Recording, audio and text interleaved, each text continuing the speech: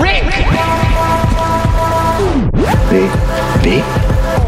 Rick, we got out. It's over. It's not over. We're all dead. Why are you here? Do you want to kill? Look in my eyes, sir. You tell me. You're fucking with the wrong people.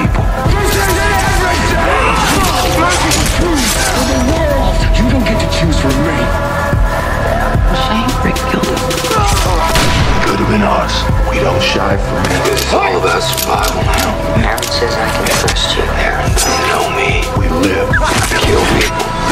I don't even know how many by now.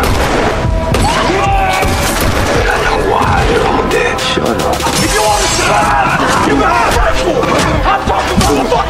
You don't fight. You don't fight. Let go of me! No! Let go of me! No!